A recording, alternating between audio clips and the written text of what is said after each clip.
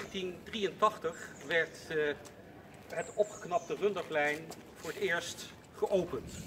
Men was toen heel blij en zelfs eh, jouw voorganger was heel blij, zo blij, dat hij op eh, die dag kwam met een echt rund. Er kwam dus een koe, de wethouder Ceeswaal, kwam met een koe hier naartoe en hij opende met dit, met dit beest opende hij het plein.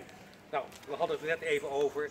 Ik denk, tegenwoordig is de Partij voor de Dieren wat vertegenwoordigd in, vertegenwoordigd in de gemeenteraad. En zo'n koe was, uh, zou niet meer uh, toegelaten zijn. Ik ben echt enorm onder de indruk. Ik fiets hier heel vaak langs. En in de winter dacht ik nog, nou ja, het wordt mooier. Maar nu ik zie met de beplanting hoe het geworden is, dat is echt prachtig. En volgens mij hebben we nu een nieuw pareltje in de binnenstad. En ik denk dat de commissie die kwam kijken of wij bij die top 5 van beste binnensteden hoorden, hier niet langs is geweest. Dus dat moeten we de volgende keer echt even doen. Dan ga ik zo'n boek plaatsen.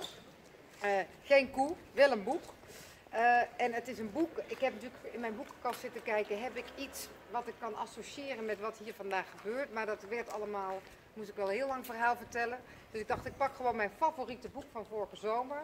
Uh, en dat is Het jaar van de gelukszoeker van Sonje En dat gaat, en dat heb ik vorige zomer gelezen, omdat we toen midden met het vluchtelingenvraagstuk zaten. En dat gaat over drie jonge Indiase jongens die hun geluk zoeken in uh, Londen, Engeland en andere steden.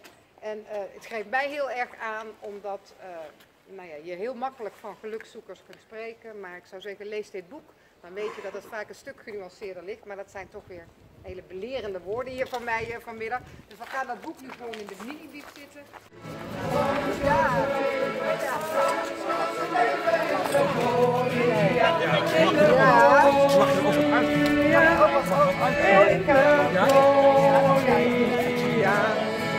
Zij leven hoog, zij leven hoog.